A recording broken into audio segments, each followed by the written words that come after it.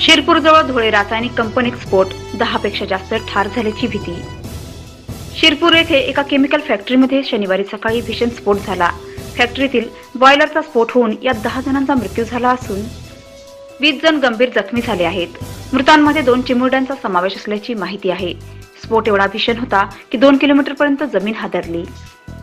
Police आणि प्रशासकीय अधिकारी घटनास्थळी पोहोचले आहेत. जखमींना जवळच्या रुग्णालयात हलविण्यात आले आहे. अनेकांची प्रकृती चिंताजनक आहे.